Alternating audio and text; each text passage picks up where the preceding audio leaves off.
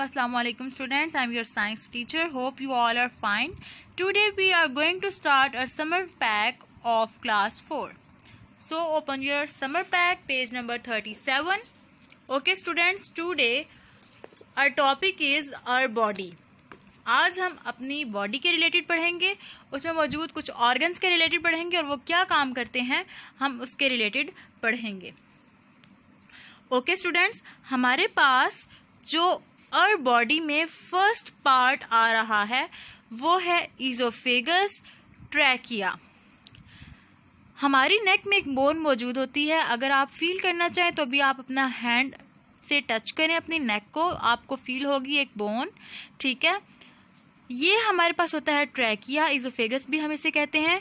ये हेल्प करता है हमारे माउथ से तमाम चीज़ों को अंदर हमारे ऑर्गन्स तक पहुँचाने में। जैसे कि हम खाना खाते हैं तो वो इजोफेगस के थ्रू हमारे स्टमक तक जाता है। हम जो सांस अंदर लेके जाते हैं, वो ट्रैकिया के थ्रू लंग्स तक जाता है, ठीक है?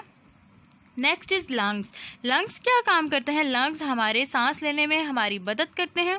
ठीक है? हम जो ऑक्सीजन इनहेल करते हैं कार्बन डाइऑक्साइड एक्सहेल करते हैं, उनमें लंग्स हमारी मदद करते हैं। नेक्स्ट इज़ हर्ट हर्ट यहाँ पे लंग्स के साथ मौजूद होता है।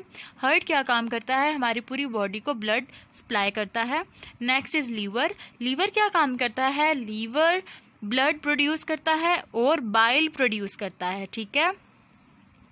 इधर लीवर के साथ एक होता है स्प्लीन। स्प्लीन क्या काम करता है? जो हमारे ओल्ड रेड ब्लड सेल्स होते हैं, जो पुराने बूढ़े हो चुके होते हैं रेड ब्लड सेल्स, उनको रिसाइकल करता है, ठीक है? और इसके अलावा वाइट ब्लड सेल्स को भी स्टोर करता है। नेक्स्ट आ रहा है, हमारे पास स्प्लीन के साथ आता है स्टमक स्टमक को तो आप अच्छे से जानते होंगे। स्टमक क्या करता है? हमारे खाने को हजम करने में हमारी हेल्प करता है। Here is gall bladder gall bladder क्या करता है? जो लीवर बाइल प्रोड्यूस करता है गाल ब्लैडर उसको अपने अंदर स्टोर कर लेता है। नेक्स्ट इज़ पेनक्रियास पेनक्रियास क्या काम करता है? पेनक्रियास भी स्टोर uh, करता है और हेल्पफुल होता है डाइजेशन में भी ठीक है?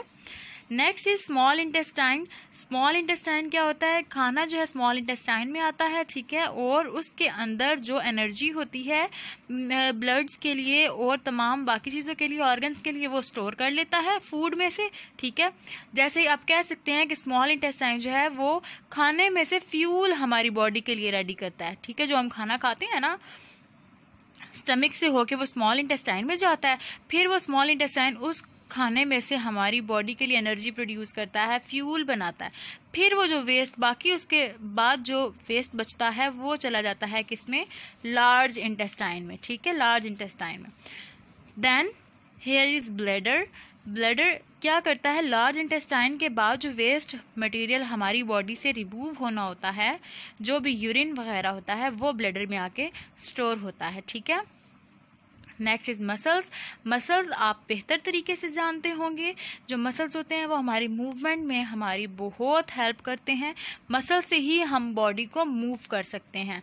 एंड बोन्स बोन्स की वजह से ही हम स्टैंड होते हैं। हम आ, कोई भी स्ट्रॉन्ग काम कर सकते हैं। ठीक है? ये थी हमारी बॉडी हमारी बॉडी के कुछ ऑर्गन्स ठीक है? Hope you all are understand about our body thank you for watching my video.